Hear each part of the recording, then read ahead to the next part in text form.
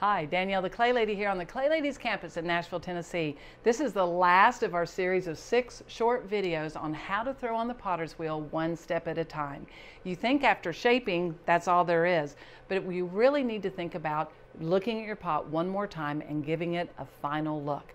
We want to make sure of a few things. One, we want to make sure there's no water in the bottom. Sometimes in the process of shaping, we forget to wipe that water out of the bottom and we don't want the water soaking into the floor of our pot because when it dries, that might create a crack down there.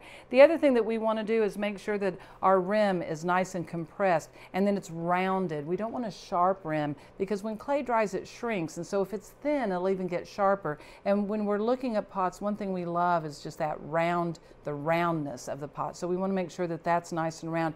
If in the process of throwing, sometimes one of the side of your pot will get a little bit higher than the other. And so this would be a good time to even that up. This wall's pretty even, but let me show you how to take off the rim.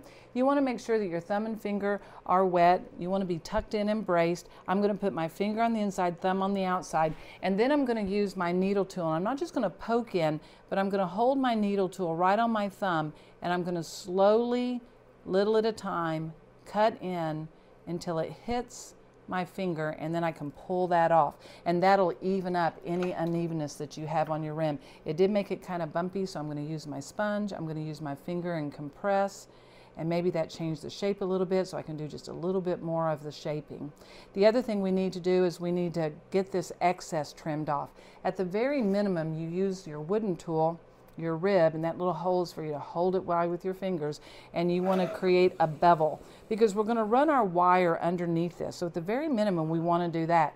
But you can also use this wooden tool, I call it the knife tool. Make sure it's wet, hold it like a pencil, brace, and I can see where my pot's starting to get buried in the clay right there. So I can take my tool and just very carefully, little at a time, I'm creating a channel and I can go all the way down to the bat cut that out, and then I can use my needle tool to cut underneath this, and this is going to help save a lot of time in the trimming stage. So we're going to pull this out.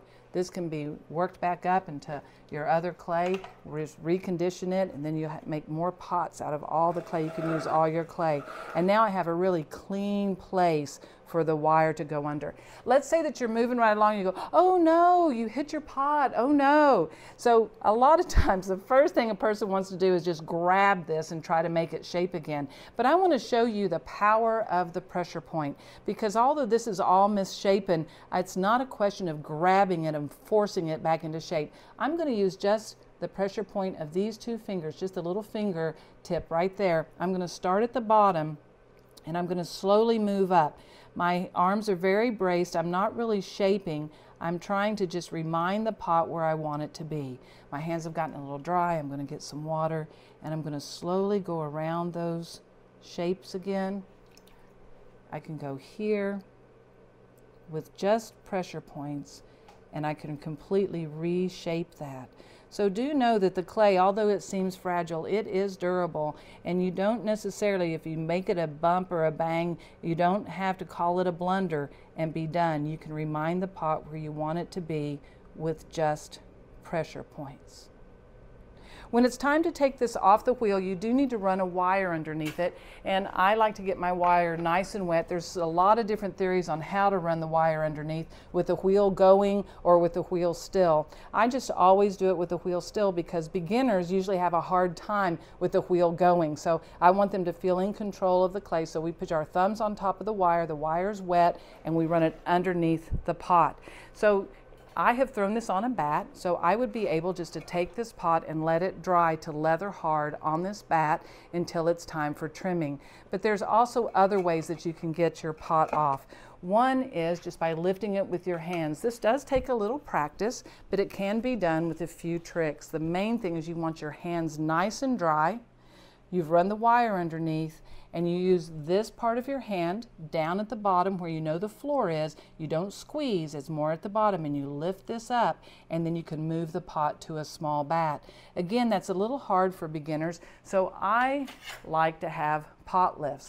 Pot lifts are a tool that you can buy at your clay supply store. You want to make sure they're nice and wet. You want to make sure they're clean and you can push them under to the pot by giving a little bit of pressure. And you don't go all the way underneath the pot, just under the edge, just about this much under the edge. And then you can tilt this towards you and you can put this on a smaller bat for storage. When it's time to take the, the pot lifts away, you push down and you slide out like this. Sometimes one pot lift will get stuck and then you just hold your pot and pull that pot lift out.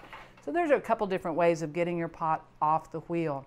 You want to let this become leather hard so then you can turn it upside down and do a little trimming. There's going to be another series of videos on how to trim your pot with the Clay Lady, so be sure and look for those. And I hope that you've enjoyed this series of how to throw on the potter's wheel with the Clay Lady one step at a time. If you want more information, just go to theclaylady.com, see everything that we're doing on the campus, all the products, everything that we have to support your creative endeavors, like my new book, The Clay Lady's Lesson Book.